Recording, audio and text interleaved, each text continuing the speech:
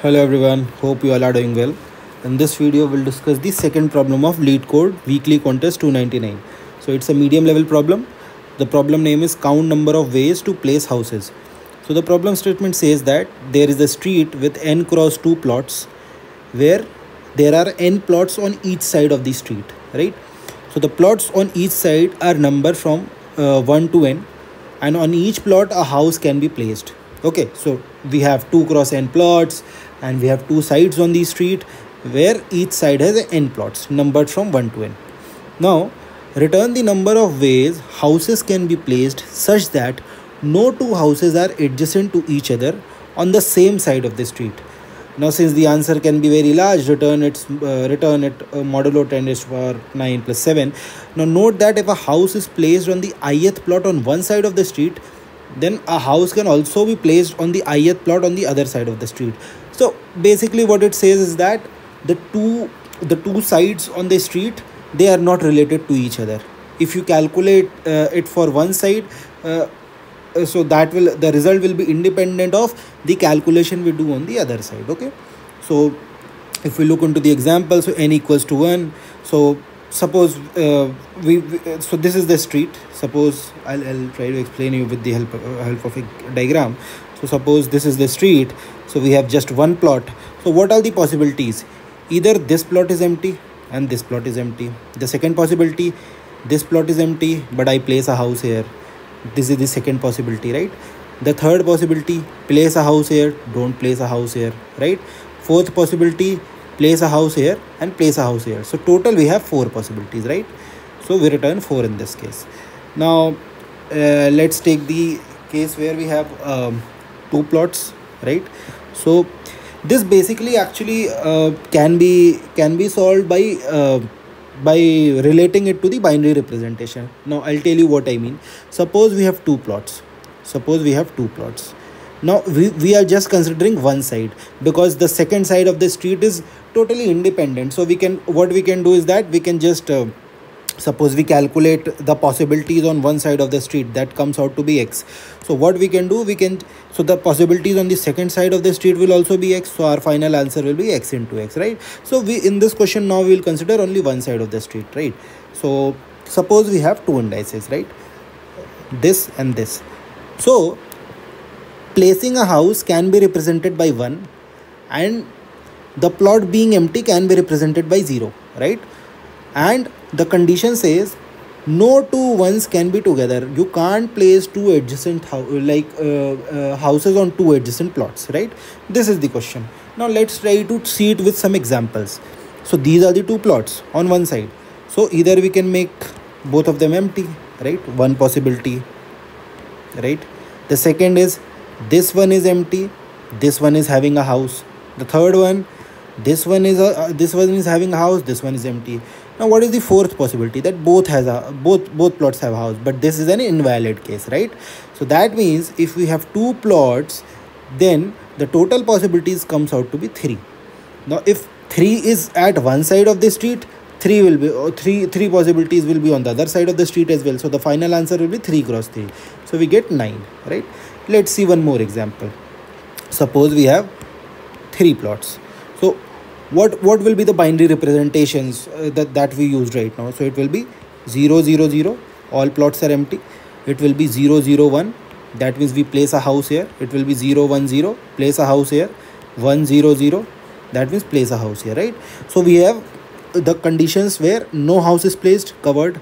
Just one house is placed covered what about the uh, uh, next condition? That means can we place two houses? So since we have three positions the only possibility is that we play we place a house like this. Just a second. Mm. let's go down.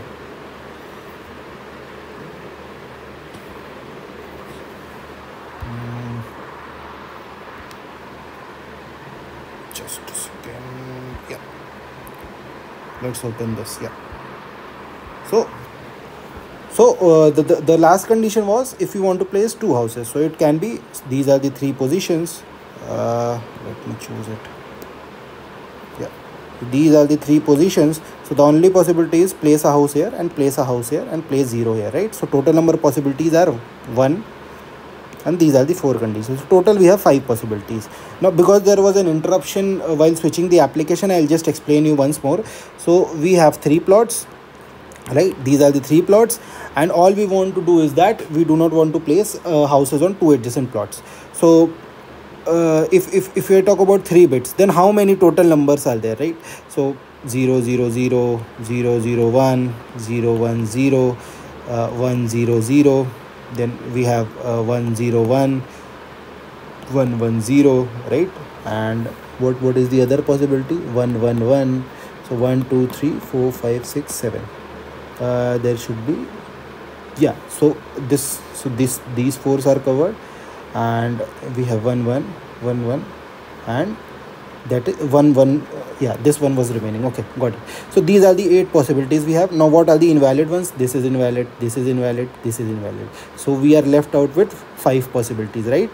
So that means if we talk about this then the total number of uh, possibilities on one side of the road is 5 so the second side of road will also be 5 so it's it comes out to be 5 cross 5 so total 25 so if we if we look into the pattern if we look into the pattern then when we, we were having one plot so the answer was basically 2 cross 2 when we were having two plots the answer was 3 cross 3 when we are having three plots answer is 5 comma uh, 5 cross 5 so if you look closely this is a fibonacci series right? This is this is a fibonacci series 2 3 5 right? Then it will be 8 then you come out to be 13 so this is uh, a question based on pattern. Obviously you can do it using dynamic programming as well but this is how i approach the problem.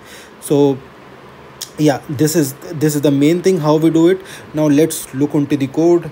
So if, if i come to the coding part so just a second. Yeah so this is the code. Uh, just a very small code. Uh, you take the mod variable and then so, so in fibonacci what is fibonacci series? So the ith element is equals to the sum of i minus 1 and i minus 2th element right? So here i have taken a variable uh, last and last last okay? Uh, initialized both of them with 1 and now we start traversing for a given n what we do? Answer equals to last and last last. And then we take the mod. Now what will happen the last element. Now answer will become the last element for the next iteration.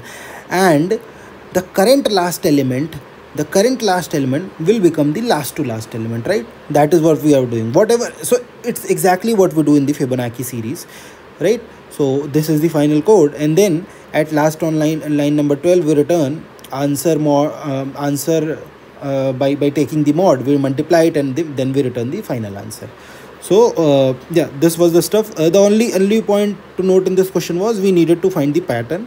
And again to reiterate we can do this using dynamic programming as well. Uh, but this is how i approach the problem. Probably if you want i can uh, also also create a video uh, where we can solve this question using dynamic programming. So hope you learned something new from this video